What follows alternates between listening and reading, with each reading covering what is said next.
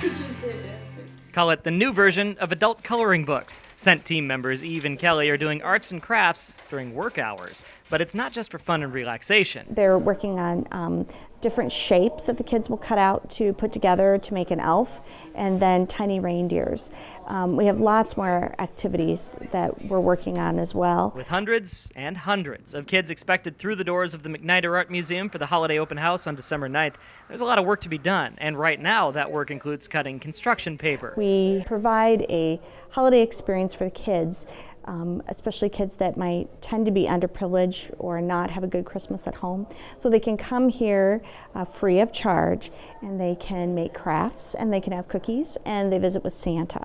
CENT Credit Union and other volunteers have been helping us by doing a lot of prep work. There's things that have to be done ahead of time to make sure the crafts are ready for the kids, and we have to do it in volume quantities. MacNider director Edith Blanchard is hoping more people will help, not only with this prep work, but the event itself. When you have this many people coming, we need people just to fill the cookie trays, to help manage the line for Santa to organize all the coats, things that people don't think of. But what she's really hoping is that more people consider MacNider when looking for ways to volunteer their time.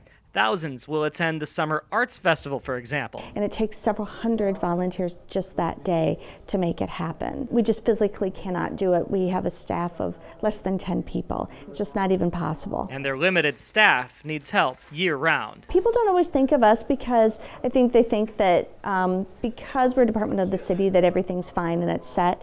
We raise half of our own budget every year and probably the manpower to do most of our programming, at least half, if not more, comes from volunteer sources.